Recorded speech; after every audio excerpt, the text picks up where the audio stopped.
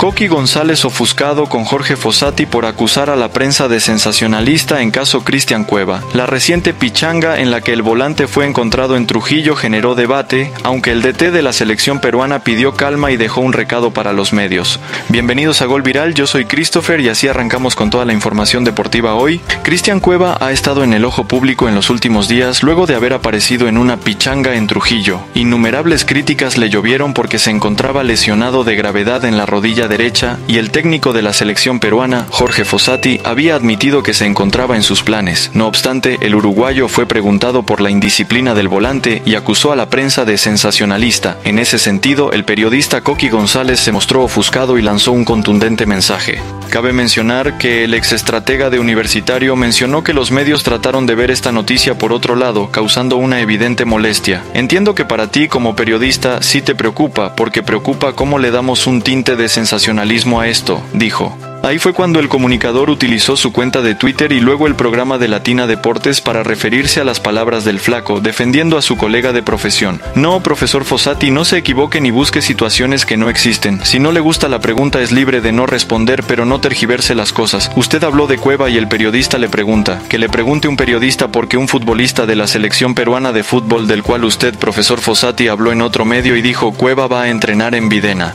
Y si usted habla bien de Cueva, ¿por qué el periodista no le puede hacer una pregunta sobre él, cuestionó. Eso no fue todo, ya que Coqui González precisó que si Jorge Fossati había indicado desde el inicio de que Cristian Cueva no estaba en sus planes para la selección peruana, esa controversia no se hubiera generado. Si usted hubiese dicho en su momento, no, Cueva por el momento no está en la selección, y si le pregunta por él ya sería una necedad del periodista que no escuchó lo que usted dijo antes. Pero si usted habló de Cueva en las buenas, ¿por qué el periodista no le puede hacer una pregunta en las malas? Dejó esa pregunta. Como mensaje final, González Villamar le dedicó unas palabras al entrenador de la Blanquirroja de cara a evitar problemas futuros, además de bromear con que posiblemente una entrevista con su medio no sea posible a raíz de estas críticas. Profe Fossati, no se moleste que los periodistas tenemos el deber de preguntar. Usted verá si responde o no, señaló. Jorge Fossati sobre la pichanga de Cristian Cueva. Como era de esperarse, Jorge Fossati se pronunció sobre la pichanga de Cristian Cueva en su natal Trujillo y le restó importancia. En esa línea manifestó solo preocuparse en que se opere para que vuelva lo más pronto posible a las canchas. A mí no me cambia nada que esté haciendo una pichanga o que esté en la playa. Ojalá su problema fuera ese, la pichanga. Si es eso nada más, yo estaría feliz. Pero, ¿sabes qué pasa? A mí los médicos me dicen que tiene que ser operado sí o sí. No hay otra solución, entonces a mí lo que me preocupa es que los médicos de la selección trabajen en ese sentido para que la operación de Cristian sea lo más rápido posible, comentó. Cristian Cueva y los requerimientos para operarse Coqui González en el mismo espacio televisivo reveló detalles de cómo se encuentra la negociación entre Alianza Lima y el talentoso mediocampista. Cristian Cueva estuvo jugando fulbito, el tema con Alianza Lima es otra cosa porque él le ha pedido al club ser operado en Barcelona y un departamento para hospedarse con su familia por seis meses haciendo la rehabilitación. Alianza tiene que pagar su operación, es su obligación. Ahora jugando fulbito, ¿está bien que Cristian Cueva haga eso? ¿Está siendo consciente y justo y está dentro de los parámetros legales? A vos como periodista sí te preocupa, porque preocupa ver cómo le damos este, un tinte de sensacionalismo a esto. A ver, a ver, a ver, a ver, profesor Fossati, que todavía no le da nota latina y quizá lo que voy a decir cueste que ya no le dé nota latina, pero que le pregunte un periodista, porque un futbolista de la selección peruana de fútbol, del cual usted, profesor Fossati, habló en otro medio, en Movistar Deportes, y dijo, Cueva va a entrar en Envidena, y si usted habla bien de Cueva, ¿por qué el periodista no le puede hacer una pregunta sobre Cueva? Si usted habló de Cueva, si usted hubiese dicho en su momento, no, Cueva por el momento no está en la selección, y se le pregunta por Cueva, ya sería una necedad del periodista que no escuchó lo que usted dijo antes. Pero si usted habló de Cueva en las malas, ¿por qué el periodista no le puede preguntar por Cueva en las, en, en las malas? Mejor dicho, usted habló de las buenas, ¿por qué no hablarle y preguntarle de las malas? Cristian Cueva estuvo jugando fulbito. Ahora, el tema con Alianza Lima es otra cosa, porque Cristian Cueva le ha pedido ha, salido un documento. Yo no sé si ese documento es oficial o no. Yo no hablo del documento, yo hablo de la información que tengo. Cristian Cueva le ha pedido a Alianza Lima ser operado en Barcelona. Alianza tiene que pagar la operación de Cueva, está en su obligación. De acuerdo. Cristian Cueva ha pedido que la operación sea en Barcelona y además ha pedido un departamento para él y su familia y quedarse seis meses en Barcelona haciendo la rehabilitación. Pregunto yo, jugando fulbito y todo ello. ¿Está bien que Cristian Cueva haga eso? ¿Está siendo consciente, está siendo justo y está dentro de los parámetros legales? Eso con Cristian Cueva y profesor Sati, no se moleste, que los periodistas tenemos el deber de preguntar. Usted verá si responde o no. Repito, quizá lo que he dicho le cueste la nota a Latina Deportes. Discúlpame, V, por favor.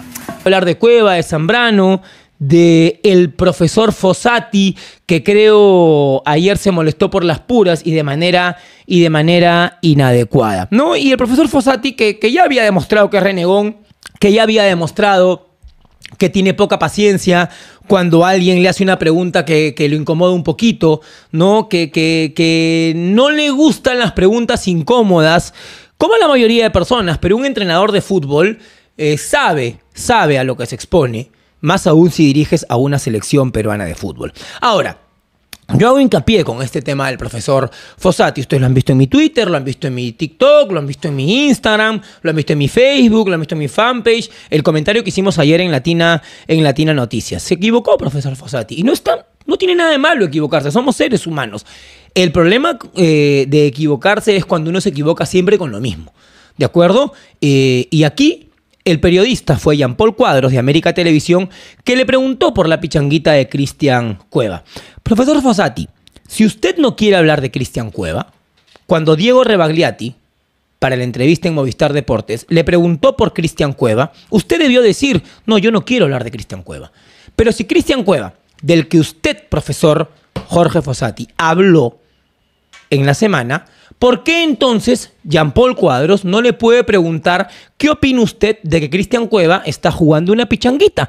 Porque el tema, profesor Fossati, es muy simple. Si se le ve jugando una pichanguita a Carlos Zambrano, si se le ve jugando una pichanguita, no sé, a Raúl Ruidíaz, que está de vacaciones, nadie le va a preguntar por ellos. Si se le ve jugando una pichanguita a Paolo Guerrero, que ojo, ¿ah? Paolo ha colgado fotos de pichanguitas en fiestas.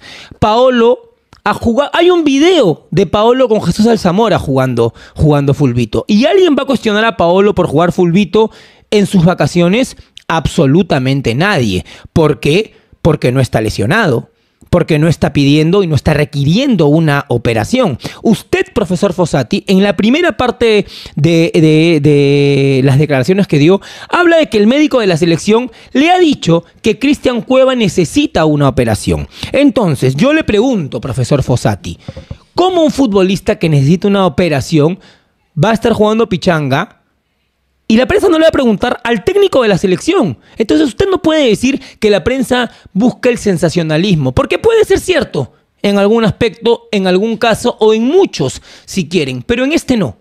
En este no. Como tampoco fue sensacionalismo cuando se le preguntó por el profesor Avelino, que no le gustaron las preguntas. No tiene absolutamente nada malo. El periodista tiene que preguntar el protagonista de la noticia verá si responde o no. Pero en este caso, usted no puede, no puede, yo con 44 años, se lo digo a usted que me lleva casi 30 años, usted con 71 años, con todo el respeto que usted se merece, usted no tiene ninguna autoridad para venir a decir el periodismo busca sensacionalismo. Así sea el técnico de la selección peruana de fútbol. Porque respetos guardan respetos, profesor Fossati. Y a usted como entrenador de la, selección peruana de fútbol, nadie le faltó el respeto haciéndole esa pregunta. Respete, profesor Fossati. No tiene por qué hacerlo. No tiene por qué hacerlo de ninguna manera.